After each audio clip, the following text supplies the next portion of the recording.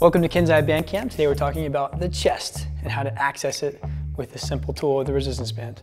The chest is actually a very simple muscle. It's the pectoralis minor, which is just a little muscle up here, not a big deal, and the pectoralis major, which is your big pec muscle, which goes from this uh, shoulder joint, fans out until it hits your sternum here in the middle.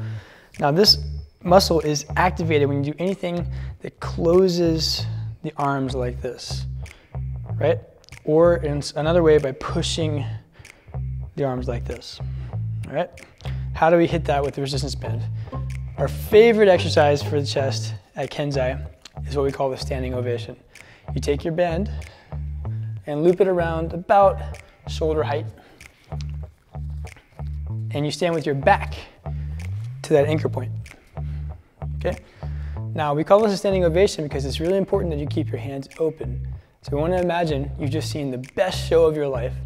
You're standing up and you're giving the biggest round of applause that you can. So what I'm doing here is bringing the hands together against resistance, using my pec muscles to squeeze together and lightly touch. Okay? Some mistakes we see with this exercise are people leaning in this is just gravity in my body. It's not my pecs, not a good idea. So one way you can alleviate that is to take the, a split stance, which lets you not lean forward so much. There's some good form right there, okay? And if you want to add more resistance, all you do is take a step forward. That just got a lot harder by taking that one step. If you're finding, oh, this is too hard, I can't get through it, take a small step back, and you're in business.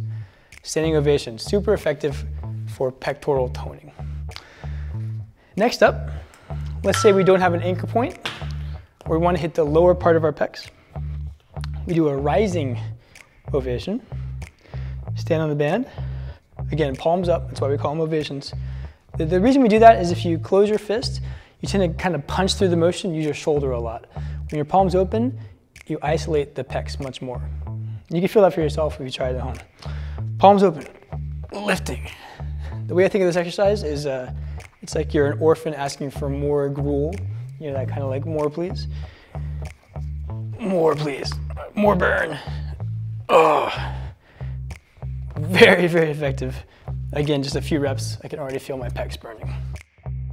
All right. Aside from those two, you can do some nice extending motions like this. I'm gonna take the band over a top bar here.